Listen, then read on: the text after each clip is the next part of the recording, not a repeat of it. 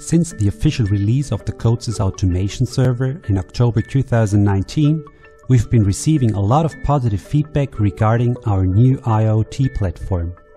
This also includes different requests and constructive ideas for new functionalities and improvements, for example concerning the user interface for handling projects and applications. As the old user interface was split into two separate sections, it was not always easy to identify a project and its associated applications. The various tabs and tiles were not very intuitive to handle.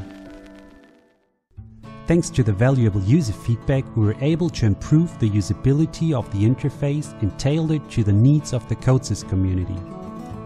With the latest update of the CodeSys automation server to version 1.8, we fundamentally reworked the complete projects and applications section we were able to achieve significant improvements in user friendliness and functionality, which we would like to introduce to you now.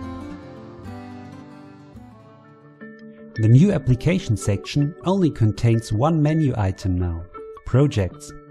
It gives an overview of all projects and corresponding applications that are administered with the CodeSys automation server. Thanks to new labels, application updates are visible at first sight now. The search field makes it possible to search for specific projects, which helps tremendously to stay on top of things. By selecting the respective commit message of a project, it is now possible to open any desired version from the project history locally in order to edit it with the CodeSys development system.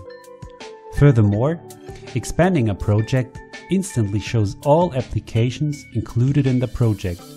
And again, it is also possible here to choose a specific version of the project.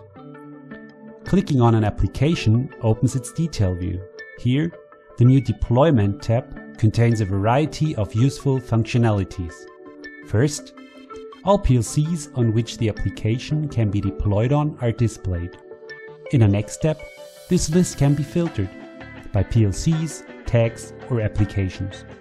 Simply use the search field to find specific PLCs and tags, or use the commit field to filter by PLCs on which no version of the application is deployed, any version of the application is deployed, or a specific version of the application is deployed. Once the selection of PLCs is complete, only two clicks are needed to either deploy the selected version of the application on the desired PLCs or to remove an already deployed application from the PLCs.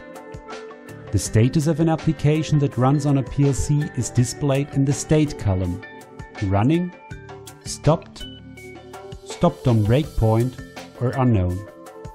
In order to make sure that changes are actually applied, the synchronization state of each PLC is displayed next to it, as an icon with additional mouse over details.